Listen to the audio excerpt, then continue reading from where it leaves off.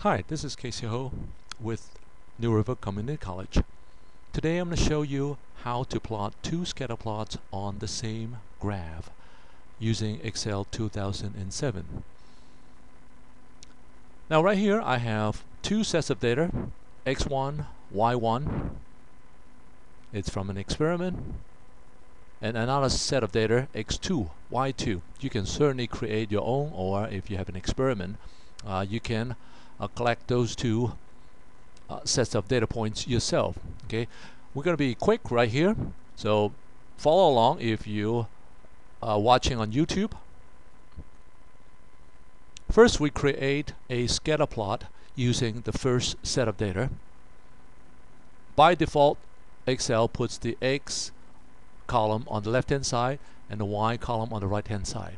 So let's plot a scatter plot for the first data first set of data, insert, scatter. Now this time we only want the dots to show up without lines joining them. So click right away, voila, we got this plot depicting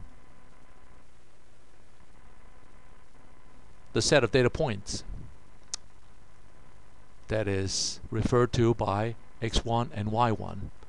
So right here, all we need if you want to add x2 and y2 is right click on the chart area. If you right click on the chart area, you will see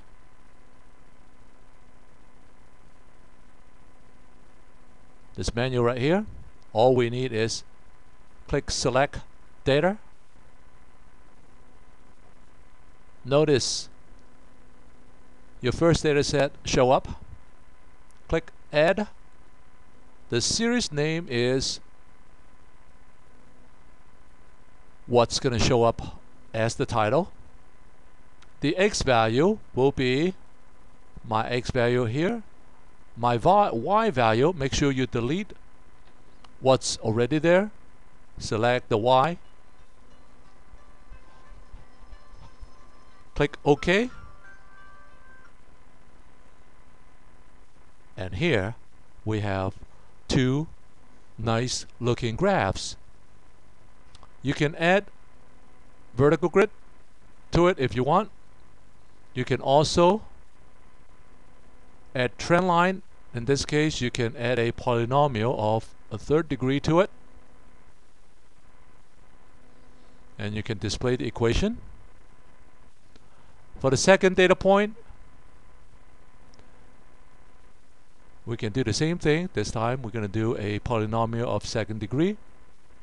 And voila, we have two equations. We can format the trend line any way you want it. Solid color. I'm going to use dark blue.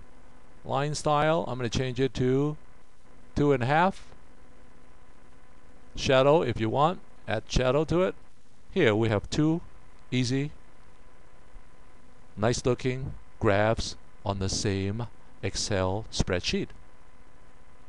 Thank you for watching. This is Caisy Ho for New River Community College.